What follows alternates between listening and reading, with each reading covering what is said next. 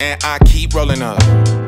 We blow it down, we blowing up. Hot air in me, we going up. Still is no feet. First, going- Mick, thank you for coming. No problem. Thanks for having me. Um, I want to start from the beginning.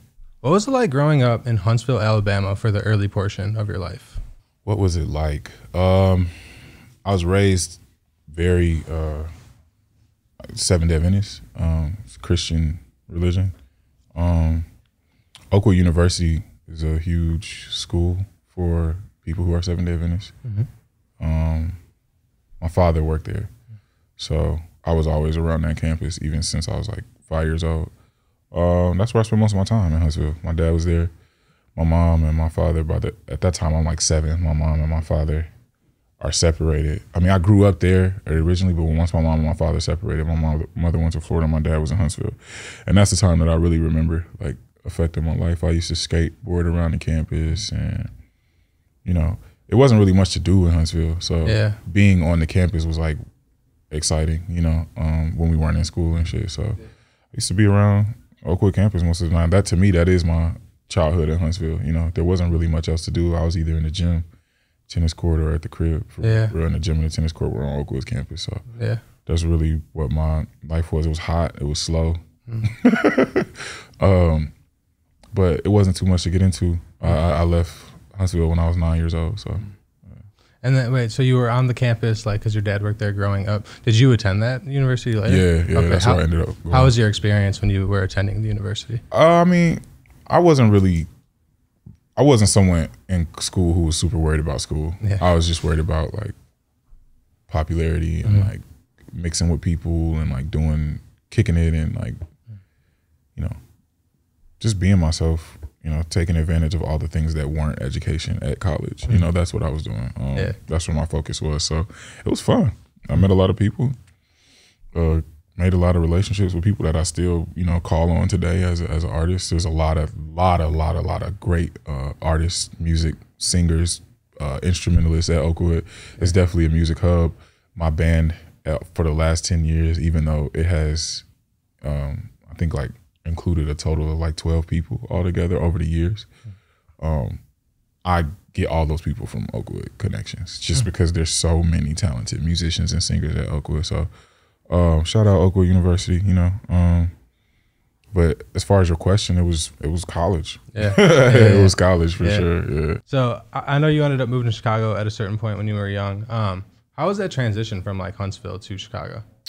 Uh, it was crazy for me. It was a culture shock for sure. Um, I never been in a big city like this. Uh, I was didn't know I was country. I didn't know I was southern. You feel me? Yeah. Like in my in my voice and the way that I spoke and the way that I, I didn't have no concept of that. Right. So when I came up here and started going to school, being like, oh, you sound funny, oh, you dress funny, oh, you act funny, you know, it was a very quick assimilation because I didn't want to keep being the uh, the butt of jokes or like Yeah. getting pointed at or anything like that. So I think maybe like six months into going to school up here, I was full. I was talking and walking and acting like I've been here my whole life. um, so uh, my mom, 14 years old, super encouraged me to like get on a train and explore the city. So I was doing that a lot. Um, I would say by the time I was 15, uh, five years in Chicago, I felt like I was from Chicago. So Yeah. I think just the I moved to 73rd and Loomis first, and then we were on 91st and Langley shortly after that. So I think just a lot of the, the neighborhoods I was in and the people I was around um, definitely made me feel welcome. Um, I went to school at Hirsch on 79th Street. That's not a place where I felt welcome, but you know, you- you just you learn. You learn how to move. You learn how to act. You learn how to be. You learn what's okay, what's not okay. You know, um, as a kid, you don't even think about it too much. Yeah. You just are trying to survive and exist and progress in whatever space that you're in. So Yeah. uh, it wasn't so much conscious thought to what I was doing for real. For real, I was just trying to get in where I fit in. Um, Yeah. And I, I didn't think it took me that long to do so. Can you explain what is going on in this photo? Is that Tumblr? It's uh I think it was mickandmatt.wordpress.com. Oh, it was WordPress. Okay, yeah. I, I was looking for my old Tumblrs Mm. yesterday, and I can't remember the names. Damn. I'll it. boom, looks like I was on WordPress. uh, in the in the photo or the video. Yeah, just in, tell me about the website. Tell me about these episodes. Mick and Matt is some shit that I was doing in college. My Matt's one of my best friends, Matthew Gross, and um, we was early, man. We didn't we we had our own little show. We used to do a campus show called Mick and Matt. We would wrap up the week of like current events in the world and like things that happened on campus. Usually trying to make jokes out of it, Yeah. uh, making it funny. Um, we had three seasons. I think we had like twelve episodes in each season. The last season had nineteen episodes. Um, I actually, the last show of Mick and Matt was a documentary, like a 20 minute documentary about love.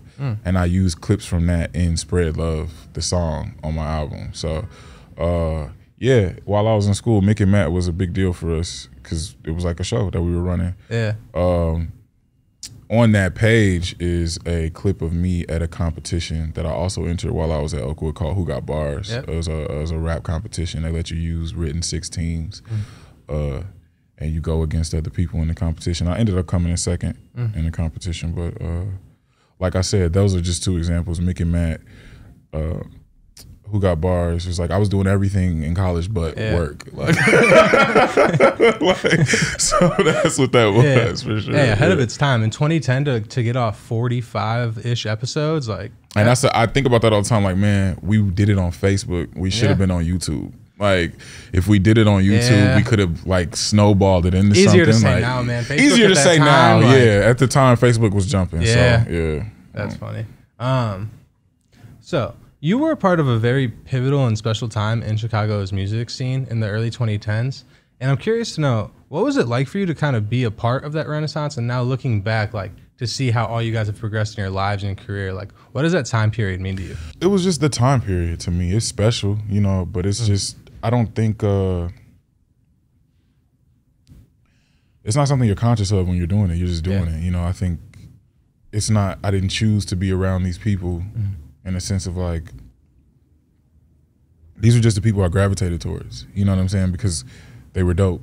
Um, because we were like minded. Because if we weren't, we found things in each other that we wanted to like learn about and and mold to ourselves. You feel me? I think um, me, Noname, Saba, Pivot, that whole crew. You know, I was around Treated Crew at the time, Lon, and um, them people uh, with Via Rosa and The Mind, and there was just it was there was a lot of talent in Chicago. You know, um, still is, but there was just a lot of talent that was around each other at that time. Vic, Supa, Chance. There was a time when everybody was working out of Music Garage. Like uh, I saw DJ Ken and uh, Fredo, rest in peace, and and Chief Keef and them would be pulling up to Music Garage. Vic had a spot in Music Garage. Jungle Boys on the fifth floor. Supa on the fourth floor. Me, Slime, and uh, 119 is on the fourth floor. It was just everybody was around each other. Everybody was cooking up. Everybody knew that there was an ascension about to happen, and and they were just honing their craft. Um, I think shortly even before that, when Chance blew up, and it kind of like was a signal to everybody else in the city. Before that, you got everybody going to the same open mics. You got everybody going to Lyricist Loft at the the library. You got everybody going to uh, YCA up north. You got you know it was just a creative time where everybody was closer to each other as far as proximity. So I think it allowed us to sharpen our our our swords uh, against each other, with Yeah. each other, uh, a lot easier than what it takes now that we're all successful and separated all over the country. You know what I'm saying? So um, to look back at that is like it's cool, you know. But I don't. It just is Yeah. to me. It's not something that I think on like, oh man, that was so special. It's just like, Yeah. well, that's what it was. Like, Yeah, it's not. It wasn't necessarily special. We're just all super talented, and that's fire. You know what I'm saying? Mm-hmm. Like, but to me, it's just it happened. It was. It, that was that time. That's what it's like. Um, and to look at it today is crazy, but just confirmation. You know, to see everybody getting it in their own right, everybody sustained. You know, uh, a lot of people get in this, have some success, and then like completely fall off. You know, Yeah. get in this, have some success, and then you have to ask, what are they doing? What are they doing? And you know, I know people still ask what Mick Jenkins doing, but when you go look, there's something for you to find. You know what I'm saying? I think sometimes there's not anything for you to find. I can name a few people who, you know, was with us, hmm. And they not no more. You know what I'm saying? Like you, you're not gonna find no new music from them Yeah. for the last five years. You're not gonna da da da da. I'll still see that dude and dap him up and show him hella love. That's that's the homie. But you know, a lot of people fall by the wayside. So to still see so many of us successful and putting out quality music and projects and getting brand deals and Yeah. doing this and that, you know, I- it's it's dope. But it's also like we all knew each other had that ability Yeah. 10 years ago you know what i'm saying so it's not surprising at all it's just it's just fire that everybody's still cooking All right, so I think with that thought in mind, right? We talked about this bit off camera, but like 2024 marks 10 years since you dropped the waters. Um, looking back at that time period and like what the last 10 years have been, like what does that project mean to you a decade later? not as much as people think it should it's just where i started. Mm-hmm. it's, it's a special place for that. It's the it's the one that broke me. It's the one that gave me national attention. Um but uh it's actually it's also a source of frustration for me because people think it's the best. And it's just like in no way shape or form the best thing i've ever done at all like at all. Like i don't think it's my best rapping. Certainly wasn't our best production. Most of those beats we took off youtube. Like Really? most of those beats were not like 100% on god production like there's three beats that we're only getting 5% on She. because we didn't do anything to Yeah. them. You know what I'm saying? Like jazz is Yael Naim's toxic cover. Like we added hi hats. You know, Healer is a song that like eight people have used. Like for uh Fabolous has used that beat. I did not Uh that. Doja Cat's used that beat. Like multiple people have used that beat. Like Mm. uh by Hippie Koala. Uh we only get five percent of that because we didn't do anything to you know. So it's just like these these things are the reasons why Waters could never be my best project. Yeah. We did in the term we were we didn't know what we were doing. You know what Yeah. I'm saying? We were it was early. Uh, I had a concept. I think it's dope. I think Mm-hmm. it's great. But even the concept is very surface level to me. Like water is truth. What what what ended up happening is people would take that metaphor and say, well, whatever my truth is, that's water. Like drink more water. And it's just like, well, no, that's not what I'm saying, Yeah. like at all. But that helped me learn like when you have a concept that everybody feels like they could mold it to their situation, that's really what you want. Mm-hmm. Like then people take that and run with it. Yeah. Right? Like bunch of people, oh yeah, this means this. And it's like, but you're saying it means Yeah. something for you and he's saying it means something for him. It's just mm-hmm. like that's actually great. Yeah. Like because people will then continue to take this thing and give it meaning, give it meaning, give it meaning Yeah. versus you being very specific mm. and they find it harder to apply it to themselves personally. You mm-hmm. feel me? That was a source of frustration for me. It's just like mm. I'm watching people take the waters and make it mean shit that I never intended for it to mean. You know what I'm saying? So Yeah. all that did was make me get more specific on my following project. It's mm. like, oh, if I'm general, people are going to misunderstand what I actually mean. Whereas five, six years later, I'm like, actually, it was great that people were misunderstanding what I mean. I have to stop. I can't control how you interpret the music once I let it go. So if I've done something that allows a thousand people to interpret it a thousand different ways, that's actually more positive than I thought previously. But yeah, man, all in all, the waters is just it was my first. You know, I it was my first big project. Um, I don't at all think it's anywhere near my best. So with that in mind, uh, what out of your catalog, what project is your personal favorite? My favorite would be Pieces of a Man. Um, yeah, that's my favorite. I think favorite and best are are different things though, but that's my favorite one for sure. What do you think's the best? I think the best changes. I, the best would be Elephant in the Room or Patience to me. One of the two. I think the rapping, the production, the concept, top to bottom, um, and then how we express that through the videos. I think all of that as a full body of work is what you would judge to say best or not. Yeah. I think some of my best rapping is on the Patience. I think some of my best rapping is on Elephant in the Room. Yeah. Um, yeah, Speaking of the Patience, you dropped that project back in August. yeah. Um, what was the creation process of that project like? Uh, very different from all my other processes. I think I usually just choose a concept and then try to apply, make sure I keep the concept in my mind as I make music for the following months. Um, in this situation, I didn't have a concept at all. I was just like, I'm just gonna make music that I like, um, and then once we had a budget for a project, I chose I like uh, consolidated and went from 40 to 29, from 29 to 19, from 19 to 11, and then I couldn't I couldn't go any smaller. So Yeah. that's a patience came out with 11, 10 songs. Yeah. So on the outro on Mop, you said that you feel like you're stepping into like uh, a new kind of agency over like your creativity, your artistry. Yeah. Um, can you expound on that thought? Um, I think when people get into this industry, well, I won't say people. When I got into this industry, there was just a lot I didn't know, even though there was a lot I did know. Yeah. Um, and I think it just takes time to optimize how to run your business in this world for you. I think there's a lot of frameworks uh, that sh- that have been successful that don't have anything to do with you, um, and you adopt those frameworks in this business, and you assume that they'll be profitable for you. Uh, I've just I've done that two or three different times, and over the years, I've learned that oh, I don't have to adopt any of these frameworks. I can create my own. Um, I think the music business is definitely an industry where people say, "Well, it's done this way. Well, it's done this way. Well, it's done this way." A lot, you know, and I just learned it don't have to be, and I think you have to learn. You know, you have to learn that things don't have to be the way that they always are. Um, I think that takes trying different things, making mistakes, you know, trying new things. Some some of the things working, some of the things not working. Um, but just forcing yourself to not be limited to what has always been done. Um, and I think there is a lot of, well, this is the way we do things in the business side of music. Uh, I just I'm I'm in patience. I signed a one project deal, and we were just talking about a new deal for a new project, and I literally was like, the new deal isn't going to come from any existing framework that already exists in the mm-hmm. industry because Yeah. any existing framework that already exists in the industry is not working for me. Right? Mm-hmm. It is that it's for y'all. Mm-hmm. It's not for me.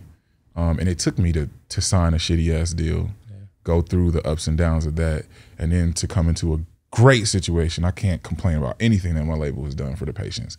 They've gone above and beyond. Wouldn't do it again as it's currently constructed. Mm. It's it's it's not even the label. It's not. It is this. It's the system. It's the framework of how we build out deals. Yeah. You know what I'm saying? I take. Let's just do a figurative number. Let's say I take 350 for a project, 350,000. There's a huge part of that. Let's say 150 is uh, marketing. Let's say the rest was that 175. 175. So two 200. The other 200 is for recording budget. Mm-hmm. Let's say 50 of that is for features, mm-hmm. and then the other 50 is for recording, producers, samples, all that other shit. What part of that does my manager get paid from? Mm, twenty percent Where he get his 20% from? from your cut. I don't got a cut. Mm. I just signed a deal to make an album. They just gave me 350 to make the album. Mm. 150 is going to marketing. I can't take money for there for me. 200 is going to the recording. If mm. I actually spend the 200 on the recording, mm-hmm. where's my cut? Mm. I don't have a cut. Yep. I spent all the money where it was supposed to go. Mhm. Where does my manager get his cut? Mm. He don't have a cut. He can just cut off profit. Yep. We haven't made any profit yet. We won't make no profit for a year from now. When the, when the, when the album recoups. Yeah. By the time the album recoups, I'm pushing a different album. Mm-hmm. So it's just like where, what do we do? We Yeah. take we take that 350, give my manager his cut, mm. give my business manager his cut. Now I've just taken money out of a loan mm-hmm. to pay people who do not have to pay it back. But if I don't pay them out of that loan, they won't get paid. Yeah. That right, I don't. I could go a lot deeper. That's the surface. Yeah. Simply is not built for me to even pay my team Yeah. Absolutely. without having to take away money from what I'm supposed to be using it to create the art. Yeah. yeah. like Yeah. simply, I don't even have to get deeper than that. The framework of how we do things is not built for us. Mm. It's not built for us to win. That's that's an interesting thought. Have, have you? And obviously, there's no like clear cut answer. Have you thought like, is there a certain framework framework that you think doesn't exist yet that could work for this? Or Yeah, I think I even think there's frameworks that exist. Mm. That's just like, why would you be telling everybody that you could? yeah, the labels are hell bent on holding on to the way they've been doing things. And if not the way they've been doing things, the way they've been in power for sure. yeah, And so yeah, if they are doing that, they're not telling everybody. That's true. have, uh, have you seen it uh, improve in your time since like your first label, label deal to now? Seeing what improve? Just like I guess the the framework or like No. um, no No. No. That's something that you would have to see across the board to say that it's improved. Yeah. Like one person, you know, I know for a fact that Tyler has an amazing deal. You know what I'm saying? It's like Tyler having an amazing deal doesn't change the framework for the industry Mm-hmm. Yeah, at all right. or Yeah. anybody else. It's Yeah. Mm-hmm. that's for him. You feel me? Like and so nah, I haven't seen it change. Just you would see it change with uh the way that new artists you would look at new artists. Like right, where we're, we're looking for change. Let's look at all the people who are getting signed. Right, Mm-hmm. who's been signed in the last three years? Yeah. What kind of deals are we talking? No, Yeah. no, we haven't seen it change. Not at all. I mean, even just streaming alone, it's like it didn't change. It got worse. Like, you know, like the the nature of how we sell music. Like even that. Like I'm say I say what I just told you to my manager. He's like, well, we make our money through sales and merch. I'm like through uh tour and merch. tour to yeah I was like, but we sell music. yeah yeah I'm not talking about touring and merch right Mm-hmm. now. I'm talking about selling my music. Mm. Like, you know what I'm saying? So nah, I think streams make it harder Mm. for a deal. That's what. That's what I, I'm. I'm just being open. I'm re trying to rework the deal with my label. Not rework, but trying to come up with a new one. And it's just like Yeah. the way that streams are set up is why we don't make no money. Is Yeah. why it takes so long to recoup. people You understand what I'm saying? It wouldn't take so long to recoup if it took if it wasn't fifteen hundred streams for an album sale. You feel me? Like Mm-hmm. Yeah. that's why it takes so long. And even still, off the patience, I'm close to halfway recouped. yeah It's only been out for six months. Yeah, yeah. So where would I be if I was actually getting what it was worth and not fifteen hundred streams per sale? Yeah. I feel like the average music listener too will look at streams and see like millions of streams, or in our case, like YouTube videos and see Yeah. like millions of views, and they assume it's just like it equates to millions of dollars. But it's really far, far, far from that. Insanely. People think we go crazy off YouTube. We really make nothing off Nothing. of YouTube. Um, nothing. yeah. Just had a conversation. We just spent five figures on a YouTube video Mm-hmm. that did one point five million. Not worth it. Yeah. Yeah. not worth it. Yeah. Like, great video, great views. But a million well, five is not enough to be spending more than you know up like considerably more than ten thousand dollars. Yeah. No, bro, it's not. It's not worth it. Like so, yeah, it's it's it's stuff like that that I see getting worse and not better. And so the framework of your deal because these are the metrics by which they'll be judged, right? Your streams, your YouTube numbers, your you know when they when when you tell a label I want a million dollars for this project, mm. that's what they're going to put that million up against. It's like, all right, let's see if you worth it. You feel me? Like, and that be- because that's how we even start to have a conversation. No, I don't see it getting better because Yeah. it this is the system that it's built on. It can't get better in this way. So tonight you are beginning your Thank You for Waiting tour in Chicago. How are you feeling going into tour?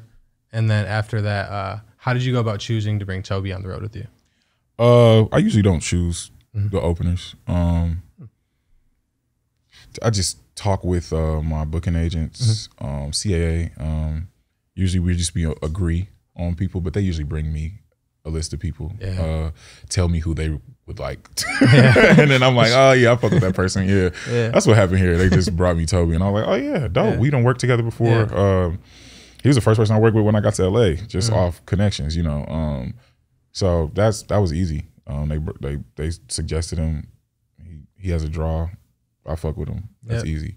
Um, but uh, I'm just happy to be touring. Yeah. You know, we haven't got back on the road since COVID. Um, we we were in the middle of a tour when COVID hit, so uh, haven't performed, haven't been on the road since then. So just happy to get back in front of the fans. Um, we were saying off record, you know, this is work. This Yeah. is the biggest work part of what I do. Um, studio is work, videos are work, photo shoots are work, but that shit is actually very easy to do and Yeah. fun a lot of the time. This is work. You know, flying and driving and taking trains around the country, getting in tired, doing interviews, Mm-hmm. doing photo shoots, meeting with fans. I, the best part of tour is being on stage, and that only happens for an hour a day. Yeah. So the other 18 hours that we're doing shit is not it's not fun. Yeah. So it's I mean it's but it's work. It's what it Yeah. takes. So that's how I see it. How would you describe the differences between touring overseas and here in the States? The biggest difference with shows overseas and the states to me is just people's inhibitions. I think uh, it's been my experience that overseas those audiences just give me what they got right they give me how they feel and they give me how they receive the music in america especially because i'm american and i know what what i'm looking at people be trying to be too cool. People don't that's that's usually what i see. Like people be trying to be too cool. You know what i'm saying? Like people don't give you their all for whatever reasons. Hmm. You know what i'm saying? It might be because who's behind them or who's Yeah. in front of them or how many people are in here versus I, I there'd be a lot of different reasons that I assume or that I can notice. And simply put, when I'm overseas, I don't really see any of that at all. Like Yeah. even if I'm wrong about what I assumed, right? I just don't feel see the same type of behavior or energy when I'm overseas. Like they just give me what they got. Yeah. And it's usually, you know, some of my latest shows. I would say outside of Chicago, New York, and LA, my best shows are always overseas. Mm. Right? And even New York and LA is just like very specific crowds. Don't know what New York crowd you're gonna get. Don't Yeah. know what LA crowd you're gonna get. Like Yeah. you could get LA crowd. I have had LA crowds that are going stupid. I've had LA crowds that are all being way too cool. Mm. I've had New York crowds that are going crazy. I've had New York crowds that are just staring up at me. You feel me? Like so. yeah. Um, just again, those are just polarizing cities where Mm-hmm. you can have crazy crowds or not. Chicago's always lit, Yeah. but I will always. Most of my best shows are overseas. Mm. Sure, my best show ever was in Frauenfeld, Germany. Mm. It went absolutely nuts. I it was like I was a rock star for real. Yeah. The way they were moshing and I was just like, bro, I don't even make this kind of music. Yeah. Like, yeah, like so. That was the craziest show I had. It was like 2,500 people. I stage dived and the crowd lost my phone, said it on the mic. They brought my phone back up to me. It was crazy. It was the craziest Yeah. show I ever did, for Yeah. sure. Yeah. Very accommodating crowd. Yeah. I like that. yeah. In Germany, Mm. which is just, as a black man, it's crazy. Um, so obviously, you know, many people know you've had a ton of success in your life and career, but not many people know that you are a fantasy football champion. hmm How does it feel? Um, I'm I take fantasy sports very serious. Me too. uh fantasy basketball specifically. Um this is my first year playing fantasy football and I won in a two hundred fifty dollar Buy-in? buy-in. Oh, that's a good- yeah, that's a good pot. First year. So, you know, shout out to Pharaoh. Mm. Bums. uh spent that money well. Yeah. Um, yeah, man, I'm super into sports specifically. I'm I'm, I'm going to be more into football next year, especially because I'm into it because of Yeah. fantasy, but especially basketball. You Yeah. could name a name a team, and I'm probably I give you 11, 12 on the roster. Like I I watch ball heavy, so Yeah. fantasy sports is my way to get in. Yeah. I can't really do the fantasy basketball because it's it's a lot of setting your lineup. It's a lot. The fantasy football I could do like it's once a week. Yeah, But no, basketball's a lot. Yeah. There's definitely days where I'll be like, "Fuck, I forgot Yeah, to set my yeah, lineup." Yeah, exactly. yeah, like I tried it for one year, it didn't work. I'll never go back. you, it, it, it. I hate it. I hate that I have to admit it, but it does require require considerably more than football. Oh, yeah. yeah, Oh, yeah. yeah. Nah, it was fun. I saw that. I saw that you won. I was like, damn, I got second place this year. One thing we both had was Kyren Williams on our teams. Dog I added him late because he was he was a free agent. Yes, Yeah, yeah, best uh, decision I made. Yeah, I uh, he went to Notre Dame. I'm a huge Notre Dame fan. So Word, when, word. when they would come to the city, he would pull up here all the time. I liked him in college, but when uh, he didn't get picked up to start the season, I picked Yeah. him up, put him on the bench. He went stupid. Nuts. It's a top five player. best ad I had all season. All right, Mick. Last question. Where do you see yourself in five years? Uh, probably back in Chicago. Mm-hmm. Um, I, I think you know. I used to have uh, this joint called We Space in Chicago, where we curated just a lot of different art uh, events, from small shows to uh, listening parties to exhibits for um, artists like uh, painters and um, you, you know all different kinds of mediums. Um, and I just want to do that again Yeah. on a on a larger scale. I think uh, I get frustrated when I look around Chicago, especially when I come back here sometimes, and I be looking for something to do. Um, and it's not like it used to be when I was a kid, when I was 16, 17, wishing I was 18, wishing I was 21 to go do all the cool stuff that I saw happening. Uh, I just realized like I'm the person who should be doing that, Yeah. right? Like the people who were probably doing that when I was 16 and 17, wishing I was 21, Mm-hmm. were probably 30, 31, 32, 35. You know what I'm saying? Yeah. It's just like, yeah, nigga, like you're you're a you're a uh, you're a player in the city, like me. Like I'm, you know, I hate I'm somebody type shit. Um, I have the means, I have the connections, I have the mind, like the curative mind, right? Like I don't want to just do something. Like I got, I know like dope shit to do. You know what I'm saying? I got no know how to create a dope vibe. Me and my wife have thrown more than a few events, especially with We Space. Um, that's been fun. You know what I'm saying? And so just contributing to the culture in Chicago in that way. Um, I, I, I, I'm like hell bent on doing. You Yeah. know, um, I think Chicago is a very dope city, and it could be doper if we did more stuff like that.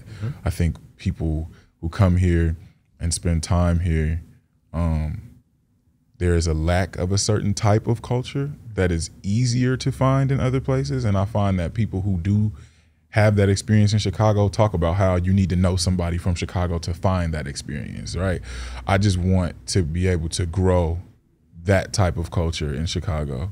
Um, I feel like a lot of times the only place we really go collectively, like everybody, oh, oh yeah, like it's Soho House. I don't know a lot of other places where people can just go post up, kick it, drink, work on their laptops, you know what I'm saying, and find a myriad of vibes here depending on the night. You know what I'm saying? Besides Soho House.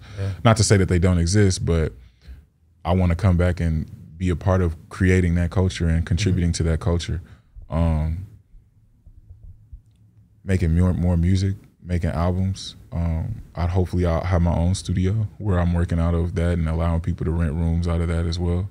Uh, just just just turning up the infrastructure of my business for real for real. Um,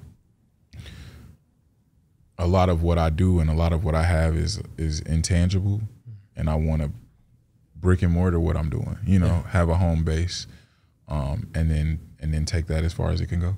No feet going up, fees going up, we pulling up, we throwing up gang signs, trees going up in flames, find us a.